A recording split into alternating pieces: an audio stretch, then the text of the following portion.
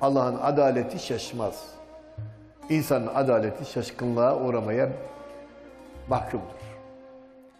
Peki hocam ben ben ben beddua ettim. Ama sonra pişman oldum veya baktım ki adamın suçu yokmuş. Suçlu biliyordum adamı. Suçu yokmuş herifin. Şimdi ben bedduamı geri çekebilir miyim? Çekersin. Beddua ettiğin gibi içten nasıl beddua ettin içten? İçten dua et ona. Allah'ım ben bu adam hakkında şöyle düşündüm, şöyle konuştum. Yanlıştı kanaatim, yanlıştı sözlerim. Ben bu adamı helal ediyorum. Allah'ım sen de onu helal et. Onun üzerindeki sıkıntıları kaldır. Bedduamı da edilmemiş beddua olarak kabul et diyebilirsiniz.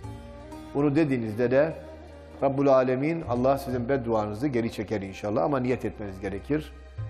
Ee, şu bedduadan dolayı pişmanım. Keşke yapmasaydım. Ya Rabbi bu bedduamı geri istiyorum.